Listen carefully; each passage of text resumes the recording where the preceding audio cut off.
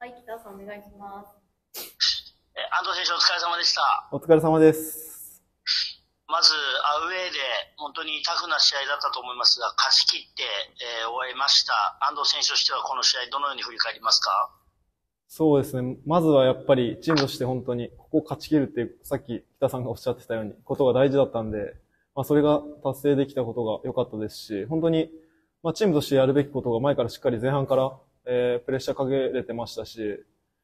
その中で前半の最後の方、最後にリクがしっかり先制点取って、まあチームとしてはいいゲーム運びができたと思いますね。それがやっぱり最後の勝利につながったと思いますし、やっぱり今のチーム状況で言えば、最後のところでやっぱり引き分けに追いつき、追いつかれないとか、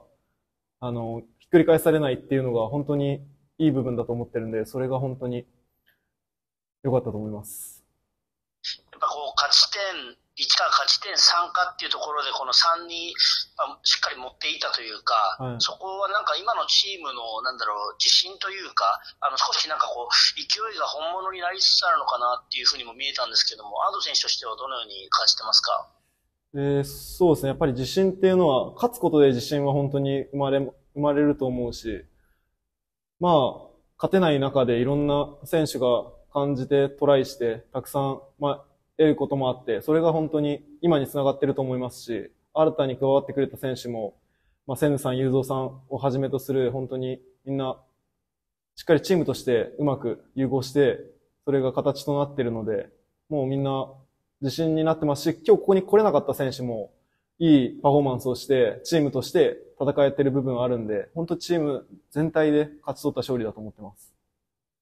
まあ、あの後半のあのに入ってから、やっぱり前半のいい時間帯で先制したっていう一方で、富山も多分ハーフタイムでかなり、えー気持ちを入れてきて、少し押し押される展開でだったと思います。その中で60分に安藤選手投入されました。戸田監督からはどのようなあの、まあ、ことを求められてピッチに入りましたか？まずはいつも通り守備の部分でしっかりボランチを消しながらセンターバックにプレスに行くっていう部分と、あとは、えーはい、左がやっぱり背後に抜ける動きがちょっと少なかったんで、そこをまあ、意識してほしいっていうふうには言われてたんで、まあしっかり裏に走るっていう部分で、裏に走って起点になって、まあそこからボールを保持して、まあ、どんどん2点目を奪いに行くっていう、やっぱり指示だったんで、そこが本当にチームとして、うまくゴールシーンも、まあ、PK でしたけど、まあ、形として取れたゴールだと思いますし、もっともっとゴールを脅かすシーンも増えてたと思うんで、まあ、そこは個人としての課題でもありますけど、もっともっと得点が取れるチャンスも本当にあったんで、まあ、そこの、まあ、個人として本当、課題はしっかり持ちつつ、ですけど、まあ、追加点が取れたっていう部分はポジティブに捉えて、まあ、そこをもっと、えーやっていきたいと思います。まあ、安藤選手のところになんかボールが入ると、すごくなんか自信を持ってこう前を向いていったいったりとか、あの本当になんか攻撃の、えーアタッキングサードまでどんどん入っていくシーンが多くなったと思います。そこに関しては、安藤選手自身が何かこう、今掴んでいるものみたいなものってありますか？まあ自分としてはもうボール入ったら奪われないでゴールに、ゴールへ目指すこと、ゴールを脅かすことっていうのは、なんですかね、まあ元からあった自信はあるんですけど、その中でも今はボール入っても失わない自信もありますし、もう必ず点取るぞ、点取るっていうやっぱり、まあ気持ちもありますし、まあそれをうまく周りがサポートしてくれるいい状態になってるんで、まあ周りのサポートにも感謝ですし、その、まあ自分としても見えるものが大きくなっていて、今、まあ余裕が増えてきたのかなとは思ってますね。あの、PK シーンなんですけれども、増田選手が倒されました。はいで、キッカー誰になるのかなと思ったら安藤選手がボールをセットしていて、はい。もともとキッカーっていうのは決まっていたのか、それともあそこは自分が蹴らせてほしいっていうふうになったのか、どどういうあの流れだったのかなと。えーチームとしては、キッカーは別に決まってなかったんで、まあ、瞬時に聞いたら蹴っていいよっていうふうに言われたんで、まあ自分が決めてやるっていう。まあ、それまでにやっぱチャンスも外してて、絶対、まあチームを助けたいという思いがあったんで、まあそこは瞬時に、瞬時がうまく抜け出して、本当に取ってくれた PK なんで、その分も、まあチーム全体の思いもあったんで、まあ思いを乗せて入ったんでよかったです。でもなんかゴールキーパーのね、選手の、まあ、逆をつくというか裏をかくというか、うんあの、ちょっとこうチップキック気味に真ん中に蹴ったじゃないですか。はまああれはもうキーパーちょっと見え、見えたのもあったんで、もう入るなって感じで、余裕持って落ち着いて、えー蹴ることができました。まあまあ PK は、はい、いつも練習してるんで。なんか、はい前回の FC 琉球戦では、ワンゴール、ワンアシスト取って、まあ、はいその時も、あの、自分でも打てるような場面だったのに、セネマ選手にアシストしてたりとか、はいすごいなんかこう、周りが見えてるというか、はい。冷静だなっていうふうに感じたんですけど、まあ、それは、まあ、僕自身、まあ、良くなった点でもありますし、それこそ周りの選手のサポートが良くなってくれた分、やっぱり、あそこにセンさんがいるので僕もパスを出せるし、周りの、そういう今日の2点目の瞬時の PK の場面も、瞬時があそこに走ってくれたからこそ僕も出せてたんで、まあ、その周りの本当選手のサポートのおかげといいますか、まあ、そういう部分がやっぱり大きいんで、まあ本当みんなに感謝ですし、まあその中で自分ができることも増えている自信もあるんで、まあそれをもっともっとピッチで表現して自分が貢献したいっていう思いが今強いです。まあ、2-0になって、まあ、そこから、ね、あの、1点返されて、退場者が出てっていう、本当に苦しい、あの、残り10分以上あったと思うんですけれども、この時間帯っていうのは、安藤選手含めて、チームとしてはどういうふうに声かけて、どういうふうに乗り切ったんでしょうか？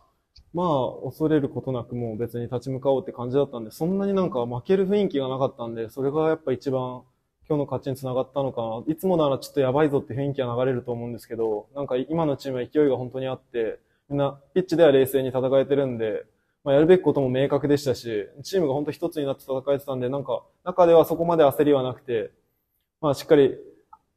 えー相手のディフェンスにはうま、簡単にボールを蹴らせないっていう部分でプレッシャーをしっかり、和樹も、えープロ初出場でしたけど、あんだけ頑張ってボールしっかり追ってくれて、えーチームとして本当に戦えたのが、まあ最後、2対1で勝ち切れた要因かなっていうふうに思います。